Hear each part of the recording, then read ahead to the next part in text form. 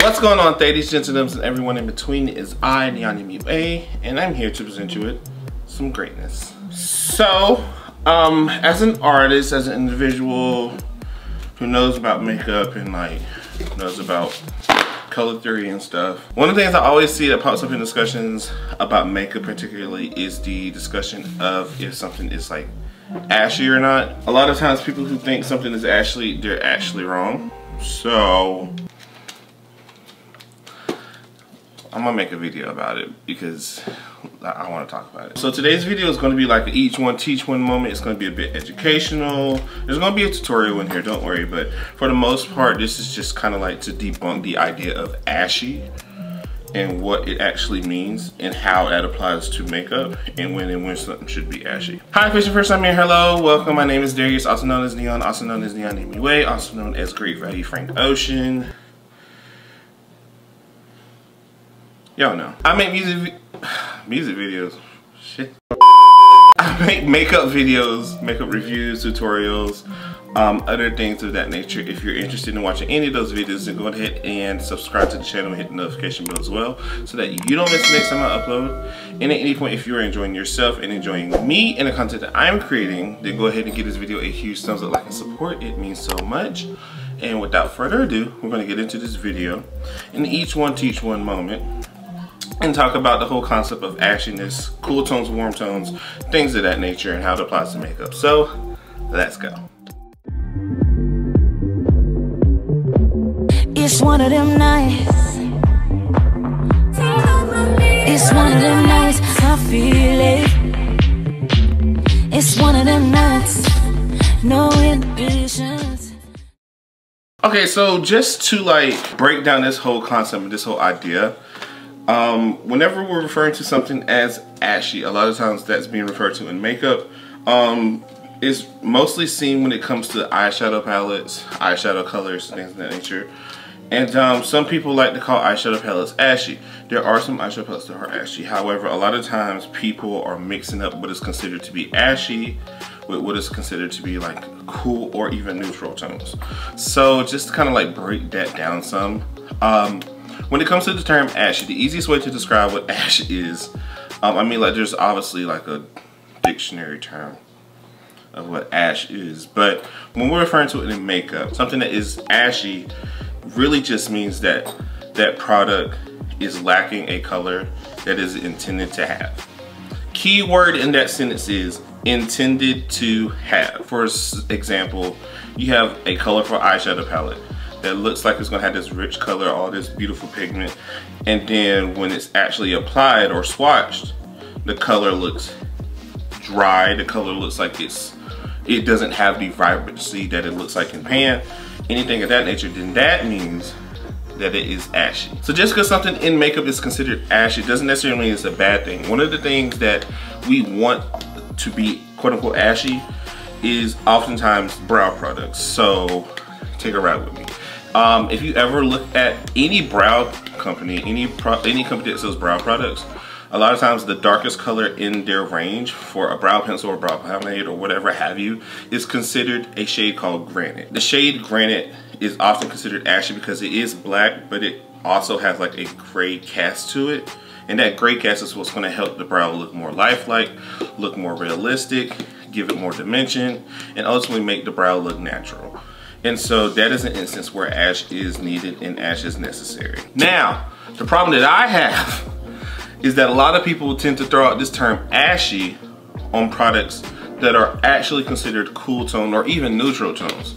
A lot of times people think just because something is cool tone, um, it is ashy. A lot of times people even throw around the term ashy when they're referring to something that is pastel. Um, cool tone palettes, neutral tone palettes, pastel colors all of these products are meant to have the appearance that they have. Cool tones are meant to look cooler. They're not supposed to be warm. Everything is, every brown isn't supposed to be warm. That's important. Every brown shade is not supposed to be warm. There are supposed to be shades that are supposed to be cool. Some shades are supposed to be neutral. Every color on the color wheel is not intended to be bright and vibrant. Some colors are intended to be softer, have a lighter appearance, these are pastels. A pastel is nothing more than a color that has had white added to it. Like you can literally make pastel, any pastel, like if you have a red paint and add white to it, that makes it red or pink. A soft red or pink, that is a pastel. So because that white has been added to it, people automatically think, oh, it's ashy. That's not the case. Um, because people think that something is cool tone, cool tone is close to gray, automatically they think, oh, that is an ashy shade, and it's not. And kind of the reason why I wanted to do this video is because of the fact that a lot of companies have started releasing cool tone grayscale eyeshadow palettes lately and people automatically think they're ashy. So what we're gonna do today is I'm going to show you guys a cool tone eyeshadow palette as well as a warm tone eyeshadow palette so you guys can get the idea of what is considered to be ashy or not. So a few eyeshadow palettes that I know people have like thrown that term around. Any pastel palette, any pastel palette that comes out, people automatically are gonna say that it's ashy because they don't understand that pastels are supposed to be that intended color. Now, if the pastel isn't pigmented enough, then we have a problem and that's when it's quote unquote ashy. But just because a shade is a pastel, it doesn't mean it's ashy. Another time when people automatically throw around this ashy term is anytime they see palettes like ColourPop's Taupe palette, Natasha Denona's Glam palette, any palette that has gray, mauves, cool tone blues, people automatically think that it's ashy.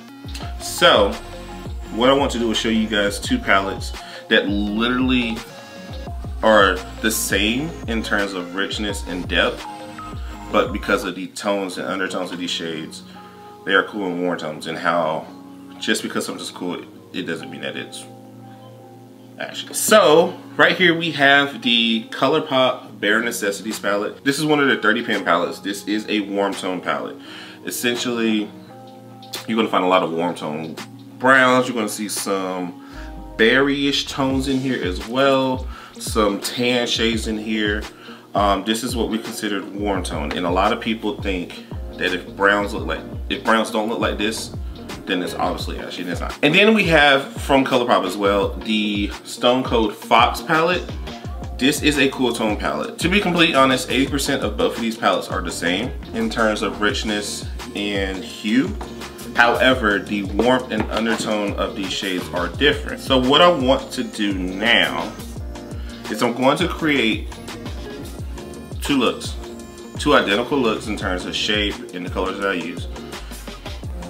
And I'm gonna be, one's gonna be the warmer version, one's gonna be the cooler version, just so you guys can see how different shades can be and how you can tell when something is warm and cool or actually ashy. So here we go. Hi. So let's get into it. This is probably gonna be a, a very simple eye, but like I said, the purpose of this look is to show you guys the difference between these shades. So I'm not so focused on the technicality as much as I'm focused on how these shades differ. I am going to first take the shade from the Bare Necessities palette. I'm going to take the shade Baubles. Baubles is a stony brown shade. This shade is actually more neutral than warm tone. And I'm going to take that and apply that on the outer third of the eye. Holy crap, this shadow is pigmented. Also, if you haven't tried like ColourPop's 30 pan palettes, these palettes low key are the best things out there. like, I don't know if they have a different formula, but it feels like they're, they're just that good. Next, I'm gonna take that shade Taboo that I was showing you guys earlier. That's that lighter brown and apply that in the crease, build that up. Next, I'm gonna take the shade Hot. Hot is more of like brick shade. is a, like terracotta brick shade. And I'm going to use that to blend my crease, softly soften it up and soften. I also want to let you guys know that this whole like color idea story situation also applies to metallic shades as well. So I'm gonna take this shade, the Talk. The Talk is like a pale yellow gold. And I'm just going to apply that to the lid. For the bottom lash line, it's gonna be pretty much the same. I'm gonna take the shade Bubbles, apply it in the outer third of the bottom lash line. Take the shade Taboo, buff that out along the rest of the bottom lash line. And then take that shade Hot and just buff everything out. So like I said, that is the warm tone eye. As you can see, this has like some gold shades in there. It has some uh, burnt orange shades in there. So now we're gonna move over into the Cold Fox palette. We're going to do the exact same eye, just using cooler neutral shades. And you're going to see that these shades aren't ashy. To start, I'm going to take the shade Drama Mama. Drama Mama is the uh, cooler equivalent of the shade Bubbles. So, same as before. Applying that in the outer third of the eye. Next, I'm going to take the shade Fickle Fate. Um, and that would be the cooler alternative to that shade Taboo. Um, this shade is actually more neutral as opposed to Taboo, so. But these shades look very similar, I will say that. So, if you happen to have these palettes, then you'll notice that some of the shades in these palettes are actually very similar, if not the same.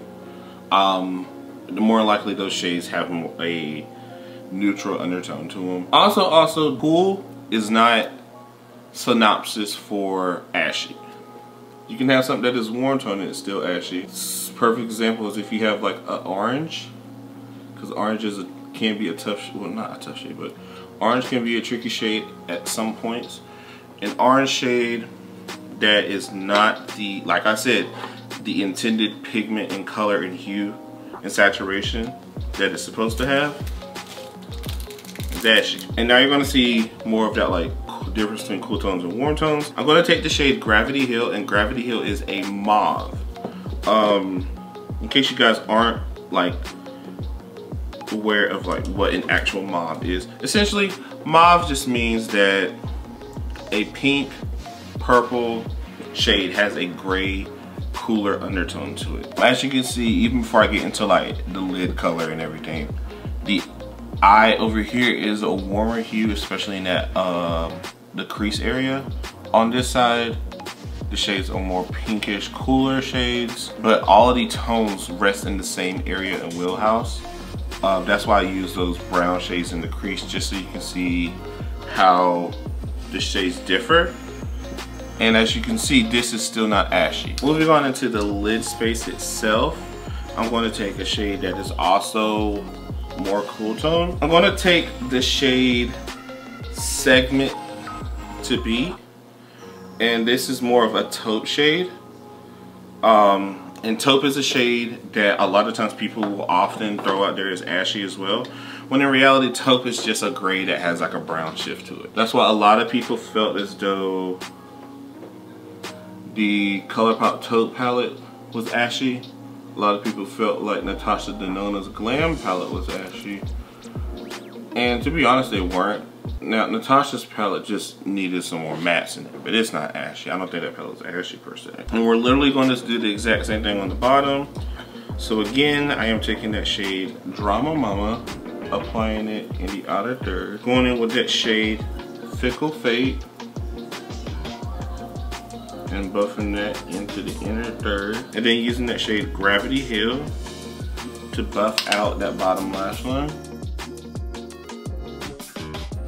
All right, and as you can see, the eyes are done and I literally used the same type of colors, the same type of hues, the same type of depth in the shades. It's just that one shade or one side of the shades are more warm. So you have yellow golds, you have some terracotta oranges, some more warm and neutral type shades.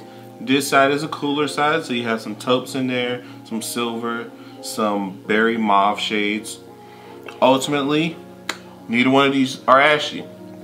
They both have the richness, they both have the intended color that they're supposed to have, and they both look great. All right, you guys, so this is the end of the video, and hopefully you learned something from this. Hopefully you've understood that what ashy actually means, um, and how it pertains to color, as well as not mixing up like ashy with cool tones and what the difference in cool tones and warm tones are. Ultimately, a lot of things that we've considered to be bad aren't necessarily as bad and it's just that we hopped on trends and we're willing to cancel something that actually isn't that bad. Like a perfect example, I'm gonna tell you right now, the perfect example of an eyeshadow palette that is ashy is that Lemonade Craze palette that Maybelline came out with last or a few years ago. That shit is ashy because that, especially that yellow shade in the pinky shade that's in that palette, both of those are intended to be more pigmented, more rich, and as you see when you actually use them, they're not.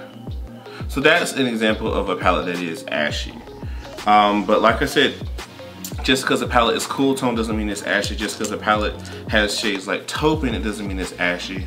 Um, ultimately, I just think that we have got to get a better understanding of what color theory actually is. Because if you notice a lot of people who are like artists and actually know color theory and know the craft of makeup didn't call a lot of these palettes as ashy as y'all did. So just something to put out there. But alright you guys, that is the end of this video. Thank you so much for watching. I truly do appreciate it. If you enjoyed yourself, which I hope you did, then go ahead and give this video a huge thumbs up like and support. It means so much. Also, if you want to continue seeing my face on your YouTube feed, then go ahead and subscribe to the channel and hit the notification bell as well so that you don't miss the next time that I upload. Um, look at me being consistent. Look at me putting out posts and, and, and videos and shit. Is that gonna last long? Probably not. Also, you guys make sure you follow me on all my social media accounts as well. That is Neon MUA on Instagram, Twitter, Snapchat, and TikTok. TikTok, TikTok. People respect self-esteem. In TikTok, I'd love to have you guys be part of Fireflies family because social media is fun. Um, despite the fact that Twitter has that god awful fleet feature that doesn't work and Instagram has turned into a marketplace, uh, follow me. It'll be great. Also follow me on my fashion Instagram as well, Style by Neon. Still working on getting more content out. We're, we're getting there. It's a work in progress. Listen, I have a job. I have a nine to five. Or one to nine, depending on my shift. Also make sure you guys support the Dusk to Dawn and Level Up collections from Midas and Esta Co respectfully. Respectfully? respectively, respectively. Jesus Christ, the English language. Make sure you follow me on or support both of those. Obviously, by the time this video is out, Black Friday has already happened, but there are still going to be holiday sales going on for both Esta Co and Midas, so definitely support those. The Dusk to collab has restocked.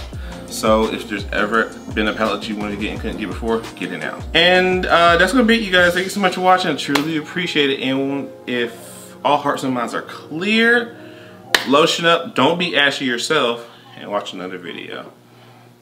Enjoy melanated greatness.